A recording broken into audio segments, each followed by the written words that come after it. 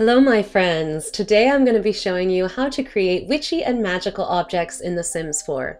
So we're going to be recreating these three nooks from my Hogwarts Potions class video. But that video is a stop motion, so today I'm going to be walking you through the process and giving you some tips and tricks. I'm also going to do it without the tool mod, which is usually a standard of mine. That way you can recreate them for yourself without having the mod installed. All right, to start with, we're gonna use the Paramount Cauldron from the Realm of Magic, and then we're going to use the Sauce Pot from Dine Out. You can't use the base game one because the sauce disappears when you place it. Also just want to quickly mention that this pot will not load to the gallery unless you have TwistedMexi's Better BuildBuy mod installed. So for those of you that don't have it, I, I do have a different version that I'm going to show you a little bit later, but I really, really love the sauce pot version. So for the, those of you that are able and wish to download the mod, I'm going to show you it with this version first. All right, the next object we're going to find is the test tube pedestal from Get to Work. This object's really cool because it bubbles, and when you size down the object, the bubbles stay full size. So we're gonna size two of these down and rotate them and hide them within the cauldron until we get uh, the bubbles placed where we like. Now this looks pretty cool and we could stop here, but I want to make it a little bit more magical and sparkly. So we're going to use these fireflies from Outdoor Retreat. And same situation, when you size them down, you can see the bugs, but hide the containers. So we're going to elevate these until you can see the fireflies, but not the tank, and just place them kind of scattered throughout so that we get a nice spread of this, you know, these sparkles. Now when we go back into live mode, how cool does that look? Isn't that awesome? Oh, I love it. All right. So you can definitely stop here, but because I am extra, I also added some ambrosia pet treats. And as you can see here, these, these just are kind of really sparkly and glittery. So same process, size them down and elevate them so that the glitter is visible but the pet treat is not. And then when you go into live mode, you have extra magic. Ta-da! So this next part uh, is just decorating around the cauldron. So I like to hide the handle of the sauce pot with that antique book stand from Vampires because I think it looks like you know, a potions, like ingredients book. And then I like to add a little stool, maybe a little table with some kind of miscellaneous ingredients and items. And this part you can really just get creative and decorate it however you like. These are just some of my go-to items and the ones that I think look the most magical and fun. So that's what I like to add, but go crazy, decorate it however you want. Now, how cool does that look, right? I mean, oh, I love it. All right, as promised, I'm going to show you a version that does not require any mods installed. So you're going to get the Spectre Sip Cup from the uh, Paranormal pack, and then you're going to size it up.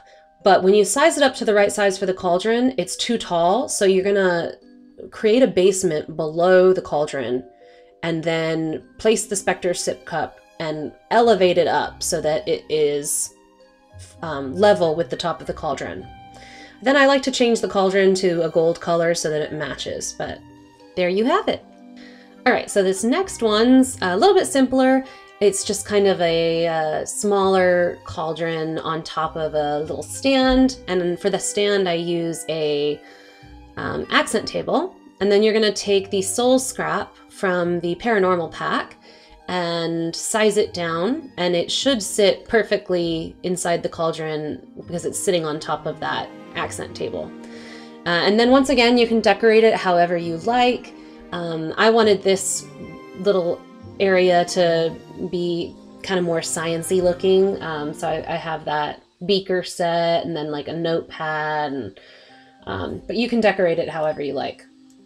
The, the main tip on that one is to use the soul scrap inside the cauldron for a really cool effect. Okay, so for our third setup, we are going to be using the Junior Wizard starter set from the base game. And this has the coolest look with these two, you know, the tubing and the beakers full of colorful liquid, but it's in that ugly green plastic frame. So the goal here is really to just hide that and use the parts of this that we like. So I, I use the kitchen cabinets only because, um, you know, they're, they don't let you kind of see the table legs underneath. Um, and then I'm hiding the, the, some of the, um, container objects with these cauldrons. And then I'm hiding the sink faucet with a, um, I think it's called the galvanized pitcher from Laundry Day, but you can hide that with lots of different things. And then I'm just adding a few of my go-to kind of magical items. We've got that potion book and some other book options. And then here for the kind of magical animation aspect, we're adding the Willow the Wisp, which is another one of those kind of bug type objects from Outdoor Retreat that looks really cool in, in live mode. So adding a few other magical items, and then here I'm just trying to hide the counter of the cabinets without using tool and quickly realizing that some of my go-to objects don't work without the tool mod. So I swap out the cabinets for this cottage living cabinet because the the counter is a, a prettier wooden shade rather than that tile that I find kind of ugly. And then I'm adding some rainbow fireflies to the other potion to just give it a little bit more pizzazz. Then lastly, I realized that I had a little piece of green still poking through, and so I hide that using these debug fence posts. I really hope you guys enjoyed this tutorial. If you did, please like, leave a comment, subscribe. It really helps out the channel. And shameless plug, if you haven't checked out my Hogwarts series yet, definitely give it a watch. This is the most epic build I have ever attempted in The Sims 4. I have a whole video series on it. So far, we have parts 1 through 4, which is the castle itself, the Great Hall, uh, the Slytherin Common Room, which I had so much fun doing, and of course, the Potions Classroom, which is what we just did the tutorial for. Thank you so much for joining me. I will see you next time, but until then, stay magical!